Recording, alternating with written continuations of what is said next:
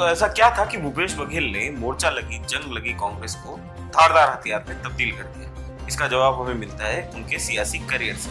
भूपेश बघेल जब राजनीति में आए थे तो उनका कोई भी राजनीतिक इतिहास नहीं था।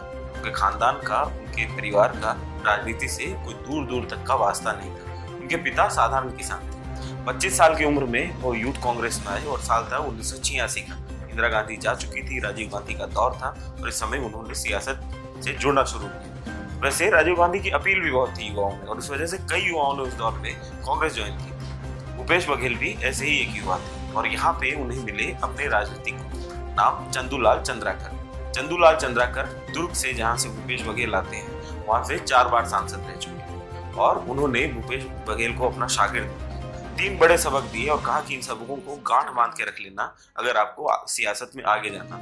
क्या थे ये तीन सबक? पहला सबक, मीडिया के ज़रिए राजनीति नहीं कीचड़ नहीं उछालोगे एक दूसरे के ऊपर। दूसरी चीज़ कभी भी सियासत को अपने पेट भराई का ज़रिया नहीं बनाओगे। घर चलाने के लिए सियासत का इस्तेमाल नहीं करोगे।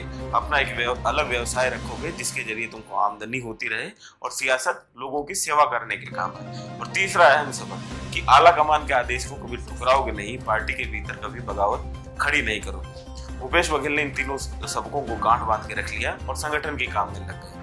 भूपेश बघेल इस तरीके से संगठन के, प्योर संगठन का जो ऑर्गेनाइजर जिसको हम बोलते हैं संगठन करता, उस किस्म के नेता के तौर पर तैयार हुए आने वाले समय इस वजह से कांग्रेस को नए सिरे से खड़े करने में उनको बहुत मदद हासिल इसके अलावा भूपेश बघेल ने अखबारों का, सोशल मीडिया का और टेलीविज़न मीडिया का बहुत बखूबी इस्तेमाल किया। वो अखबारों में लगातार लेख लिखते रहे वो रमन सिंह को तानाशाह बताते रहे और उन्होंने सरकार की गलत नीतियों गलत योजनाओं को खुल की जनता के सामने रखा और बीजेपी के खिलाफ एक माहौल तैयार किया। पंद्रह साल से बीजेपी की की सरकार सूबे में थी और एक एंटी इनकम्बेंसी वेव जिसको हम कहते हैं सत्ता विरोधी लहर वो साफ़ दिखाई दे रही थी छत्तीसगढ़ में। भूपेश बघेल ने इसका भरपूर फ़ायदा उठाया। रमन सिंह के खिलाफ पूरा माहौल बनाया और चुनाव को अपने पक्ष में पटक लिया।